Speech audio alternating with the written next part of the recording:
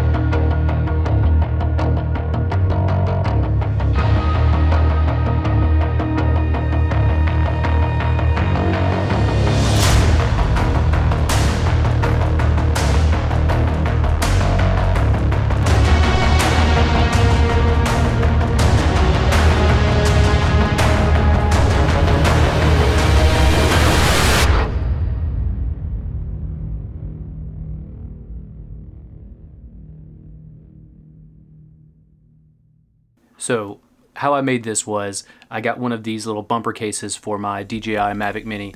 Um, I didn't get the Fly More case. I actually won this drone in a raffle at work. So uh, it was just the drone with a single battery. Uh, so it didn't have the prop guards or anything like that. So I bought this little 20 or $30 case from uh, PGY Tech or something. PGY Tech protective case for Mavic Mini. It's a pretty cool thing. It weighs a little bit. Uh, you get the warnings whenever you fly with it that you can't fly very high or very far and you wouldn't want to. It's purely for indoor. Plus it increases the weight limit so I can't fly it outdoors without my permit anyway so I'm not really worried about that. At any rate, what we did with this was I had some guys play ping pong. Uh, in my day job, I'm a software developer, computer programmer, whatever you want to call it. And so from time to time, of course, we play ping pong as you do. And so uh, I thought this was a great opportunity to test this case out for an indoor situation. We have very high ceilings in our office. And so I was able to fly it above the ping pong table while they played.